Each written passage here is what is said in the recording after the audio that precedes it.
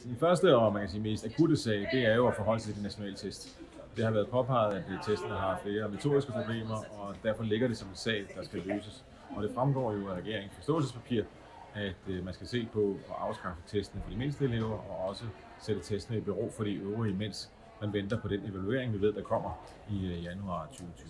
En anden sag, som man også har lovet grundigt i valgkampen, det er jo hele diskussionen om skolestart. Hvordan får man håndteret skolestart? Hvordan får man sikret, at øh, det bliver muligt for elever, der er i tvivl, om de er modne eller ej, og hvor forældrene er i tvivl, om de er modne eller ej, til øh, at reelt at få det valg, at de øh, skyder deres skolestart år. Det er en kompliceret sag, også fordi, at der i mange kommuner er udviklet den praksis, at man starter i SFO cirka et halvt år før man starter i skole, og det er jo svært at vurdere barnets modenhed et halvt år før det reelt skulle starte i skole. Så det, det, det ligger der og, og lurer. Endelig er der selvfølgelig jo så øh, en vigtig ting, også i december kommer der noget fra øh, det, der kan blive kaldt øh, arbejdstidskommissionen, hvor man kigger på lærernes arbejdstid.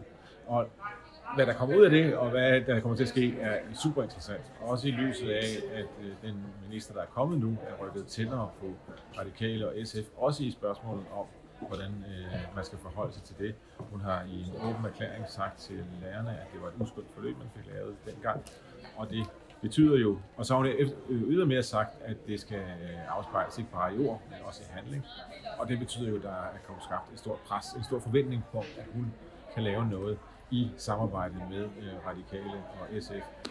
Hvis vi nu kigger på det her, den her øh, øh, lovning, øh, eller det her krav, som Radikale var ude at stille mm. øh, allerede i valgkampen, og som vi sådan set også har, har slået søm i øh, senere, netop øh, en milliard øh, direkte ind i forhandlingsrummet mellem KL og Danmarks Lærerforening til at sikre en, en god arbejdstidsaftale. Ja. SF, enhedslisten, bakker sådan set også op med nogle penge, er klar til at give penge til lige netop det her. Ja. Øh, hvor stiller det øh, Pernille rosenkrantz ja, og måske i, i lige så høj grad øh, finansministeren? Ja, det er et, et rigtig, rigtig godt spørgsmål. Fordi det interessante er med, med de radikales udmelding om en milliard, det sætter jo Pernille rosenkrantz under pres, fordi hun jo har sagt, at hun er både i ord og handling vil vise noget. Men problemstillingen er jo meget bekendt, at der er ikke nogen, der har fundet finansieringskilden til den milliard. Så det bliver jo en milliard, man skal sidde og slås om i finanslovsforhandlingerne for at se, et, om man kan finde den. To, hvordan skal den så udmyndtes? Hvordan skal den så gøre øh, i, i praksis?